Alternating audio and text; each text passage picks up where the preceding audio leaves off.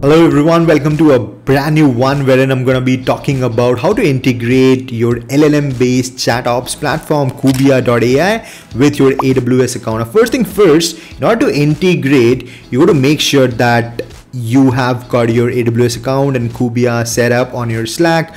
Now, first thing first, you got to do is type in slash manage, and this is going to be the entry point for you, wherein it's going to show you what's been integrated, what's not.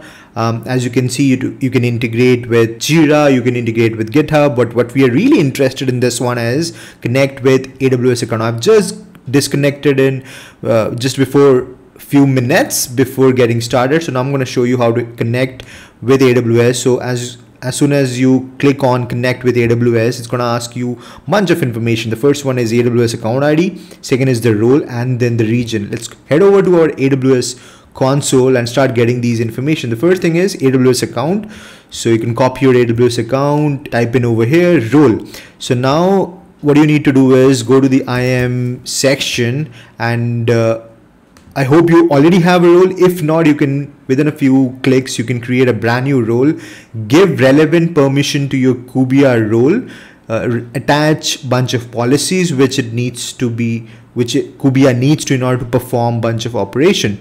So if you go to the roles, what I've already done is I've already created a role. However, you could create a new role by clicking over here and attach from the default policy which is available already in AWS. So if I type in Kubiya, I've got this Kubiya chat ops role.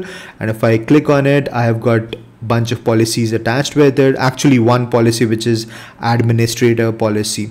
Uh, administrator access. Now bases on your company's organization's need make sure you attach the right policy. If you haven't got the right policy make sure to create one.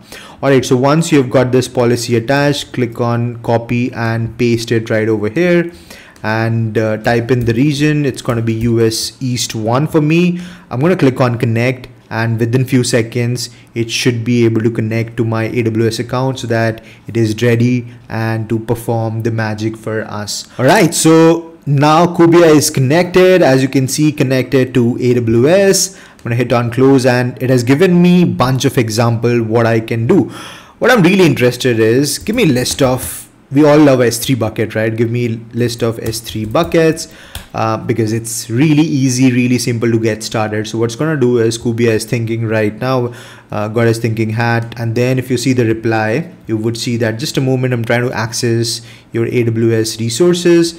It's working on it. It's going to reach out to the aws console going to pass the information and give the result to us. Operation successfully completed and you can see you've got all of these buckets. You can verify them as well. You can go to the s3 console in your aws and verify you've got all of these buckets created so that you just need to if you it's just in case you uh, want to double check. All right let's while this gets loaded i'm gonna ask it to list me all the roles as well.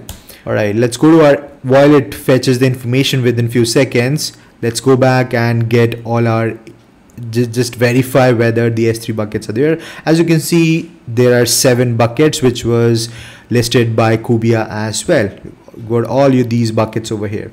All right now we are asking it to perform another operation asking kubiya to perform another operation which is listing of all the roles which is available. Operations completed and as you can see it has listed all the roles. We have got the kubiya chat ops also which is actually associated integrated with kubiya platform. All right that's it for now. I hope this was informative. I'm pretty excited to come back and talk more about these cool features which Kubiya has got. I'll see you in the next one. Thank you.